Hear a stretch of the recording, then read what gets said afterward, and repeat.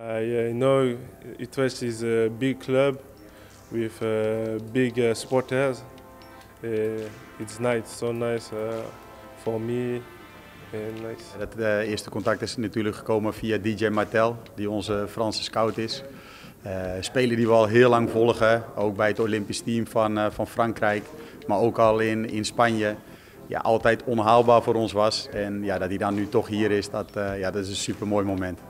I am un, de, un defensor uh, uh, rapid to speed with uh, good uh, good um, good start and I will um, I will uh, demons demons here.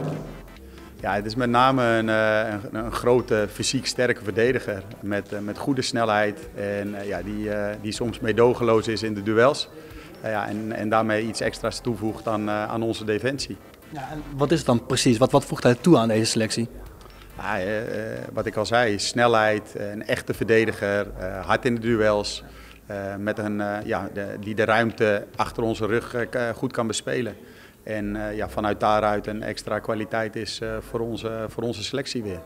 Uh, my objective here is um, go more, more up and, and make, make yeah, good impression todos in todos. En natuurlijk een perfect moment, want hij kan meteen mee op trainingskamp. Hij kan meteen mee, ja. ja nee, hij, is, hij heeft al wat trainingen erop zitten in, in Spanje. En uh, nou, hij gaat nu zo snel mogelijk aansluiten bij de ploeg.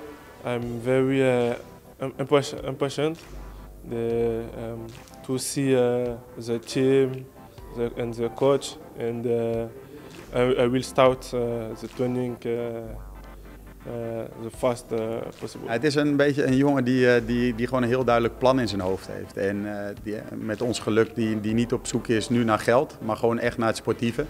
En inderdaad, er was heel veel interesse. Uh, maar hij kon het waarderen dat wij al zo lang met hem bezig zijn. Uh, heel veel vertrouwen in hem hebben. En uh, ja, hij ziet Utrecht als de perfecte club om, om weer een volgende stap te maken.